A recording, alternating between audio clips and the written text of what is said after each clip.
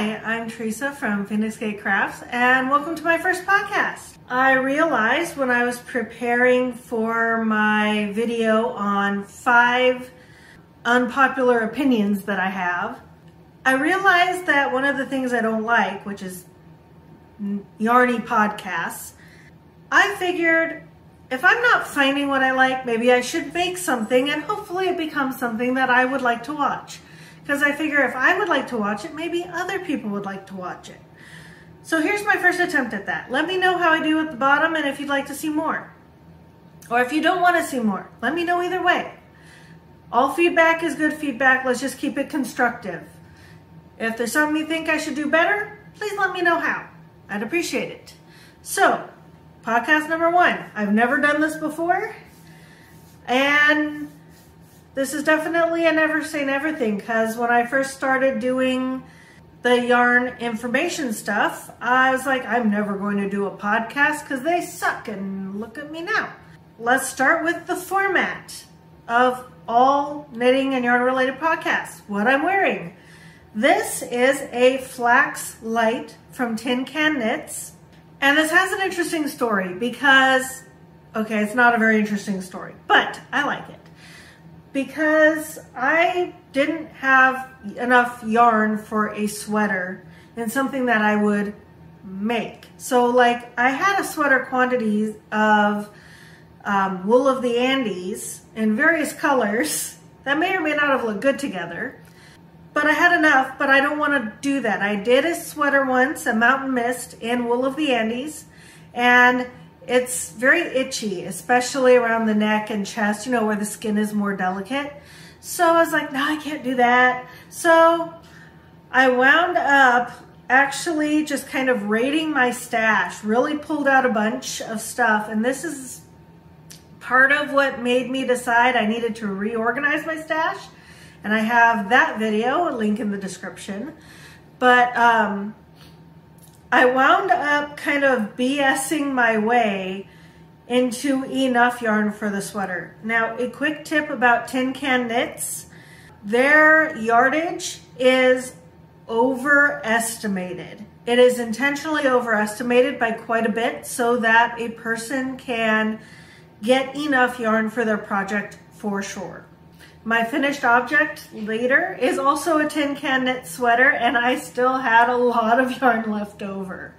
So just be aware you don't have to have that much yardage because here's the funny thing.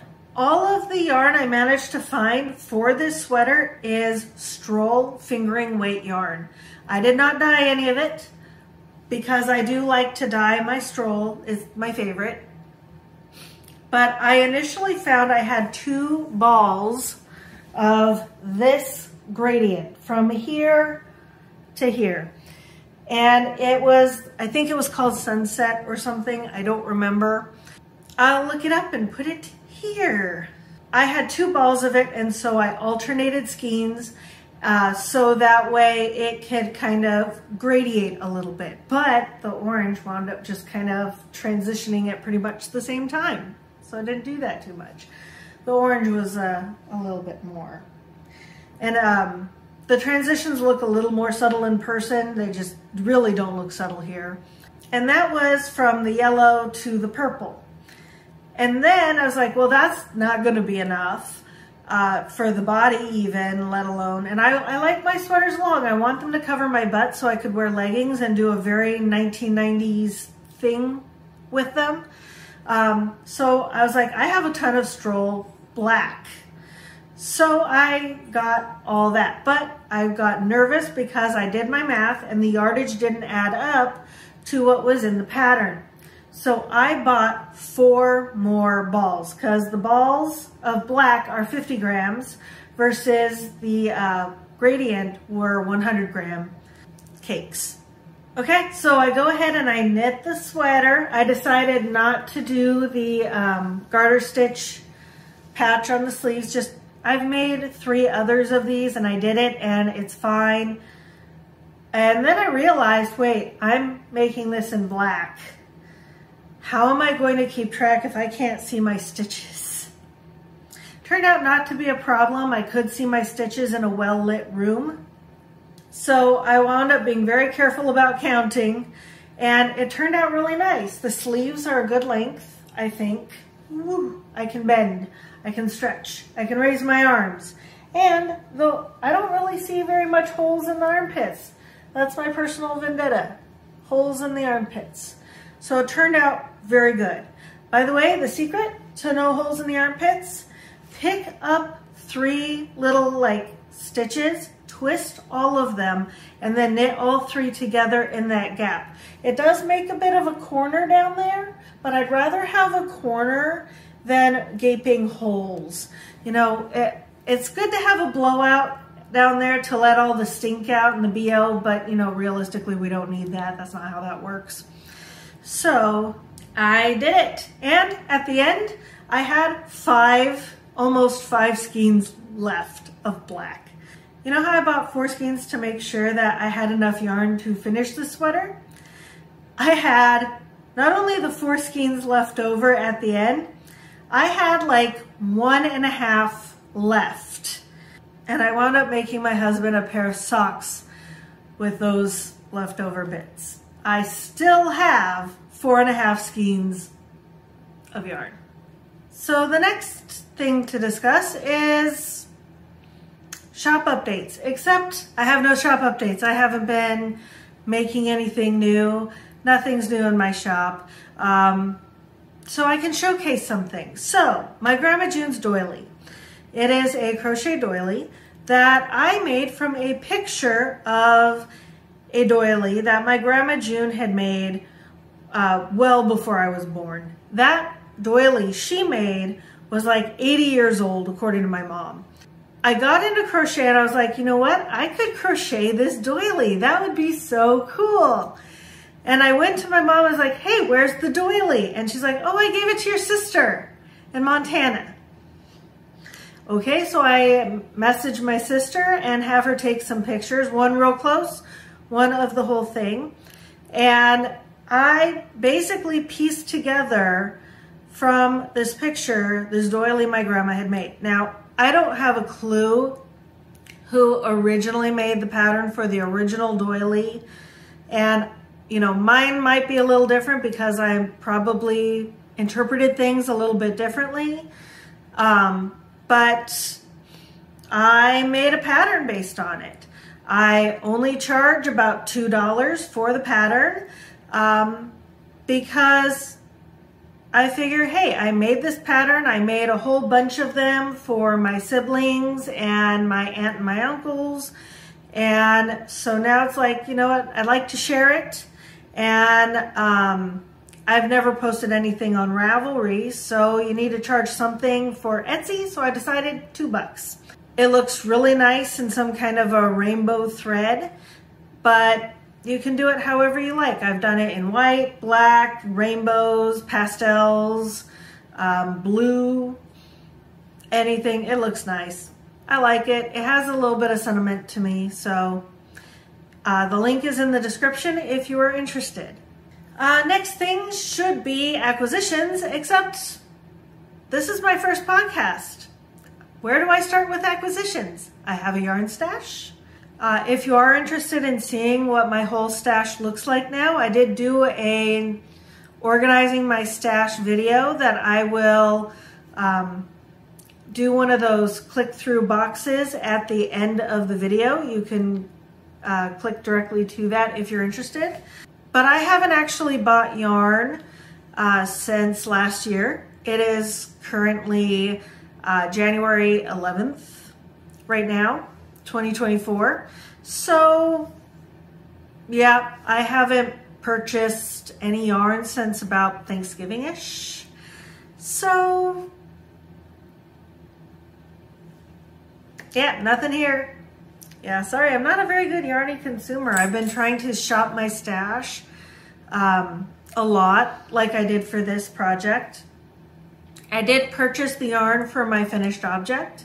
So I kind of reintroduced myself to crocheting late 2017 and I taught myself to knit in 2018 and I realized I had a bit of a yarn problem. Uh, when I was having a good day, I would get off at one of the two exits that leads to a yarn shop.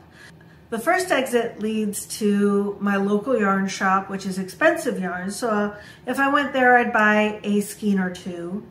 Or if I stopped at the second exit, I would either go to Jo-Ann Fabrics or Hobby Lobby. And I would get a tote bag and I would fill it with yarn and spend like 50 or so dollars on yarn that had no project for it.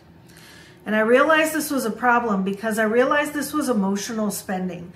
Now it was good mood emotional spending, not trying to fix a bad mood, but it wasn't healthy for where my husband's and my budget was at the time. Um, it created some credit card debt, not a super ridiculous amount. We kind of caught it early, but this is why in 2019, I didn't do a true no buy year, but what I did was I created some rules for myself for buying yarn.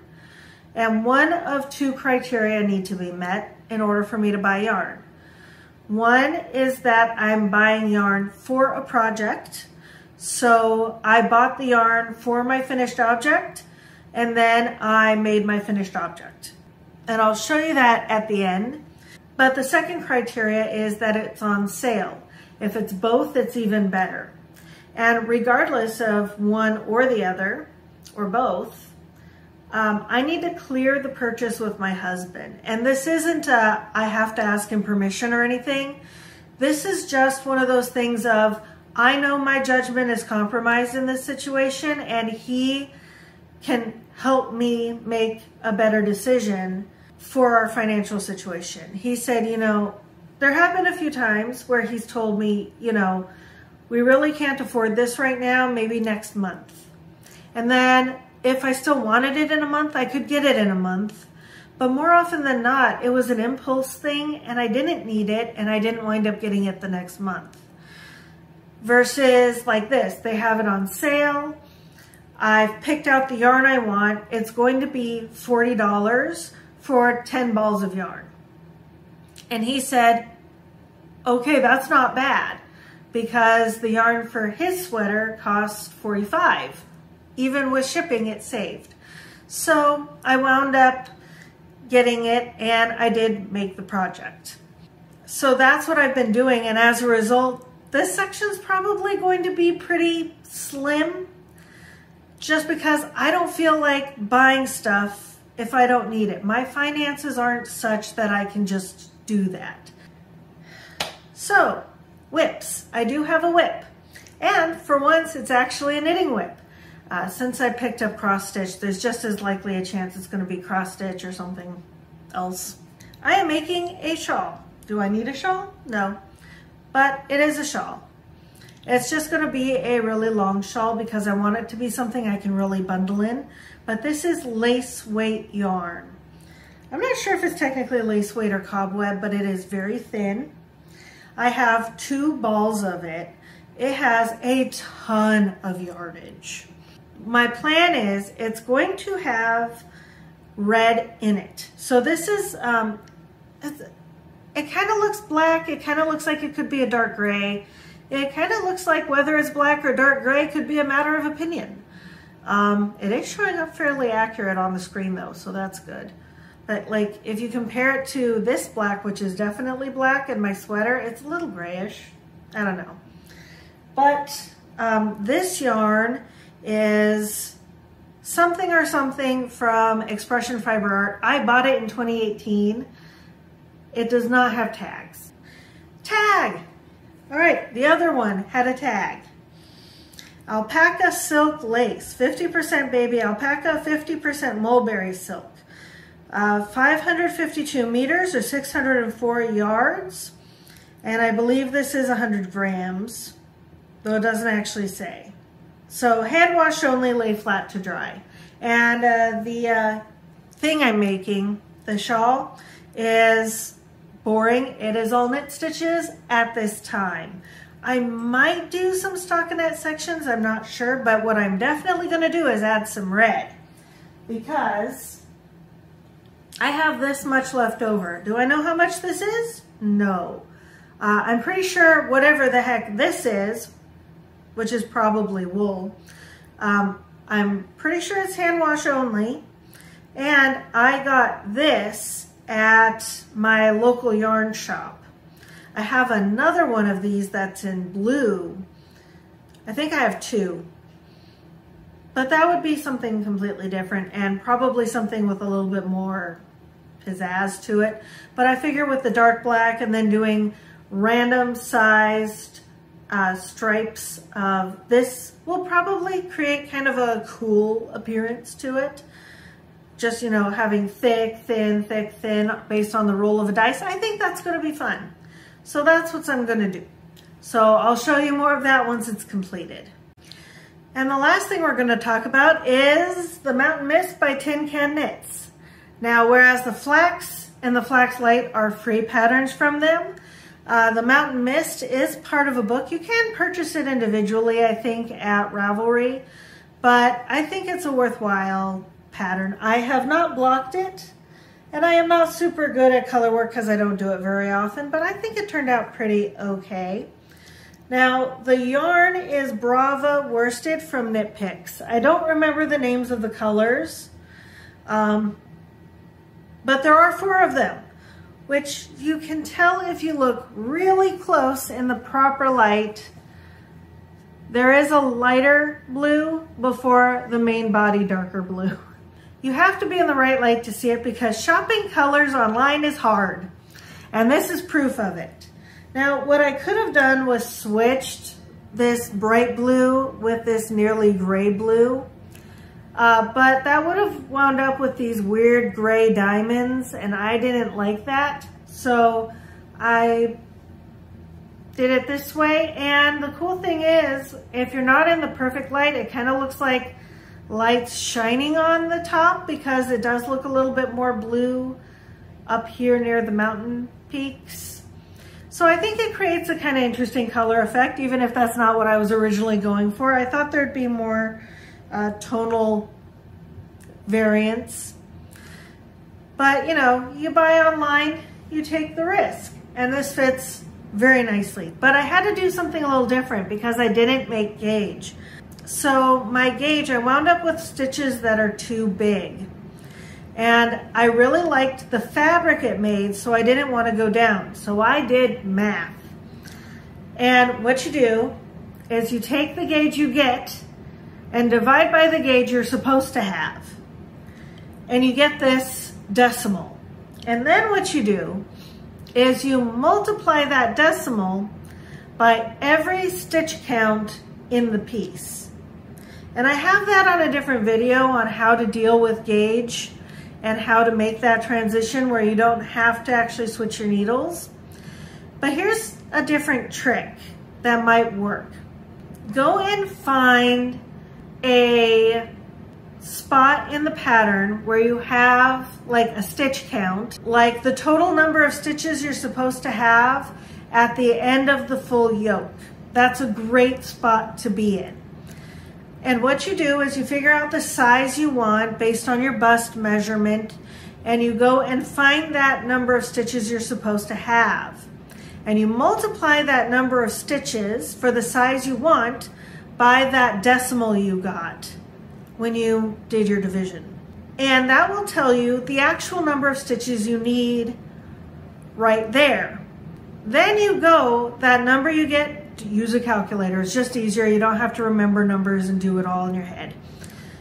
Um, that number that's on your calculator, see if there's another number in the pattern that is that many stitches. So I was originally going to be doing um, an, a 2X, I believe. And by doing my own gauge and finding a gauge I liked, I wound up doing a large size. Now, if you do that, you still need to do the measurements for your original size because the measurements are for, you know, your arm length and the body length. So you want to do those measurements, but you, you do them with the stitch counts of your original piece. And it got a little interesting on the arms because which part of the pattern should I listen to? Should I do, oh, hi. There's a puppy right here and she just, she's being a little attention slut. Hi, puppy. Um, totally pushed me over. Oh, muscly dude. Anyway, I could do the number of rows and repeats that I need for the smaller size that I was actually using stitch counts for, or I could use the larger ones for the actual size I was knitting. But here's the thing, my stitches were too big. So not only my stitch gauge was too big, but my row gauge was too big. So what I wound up doing was I wound up doing the smaller size numbers and repeats, but I made sure to go to the length. So I did the four inches of knitting even, and then I did the nine rounds of repeat, or the nine repeats of the six rounds, whatever, of the decrease rounds. And then that left me with this much left. And I wound up just knitting flat until I reached the length I needed for the larger size.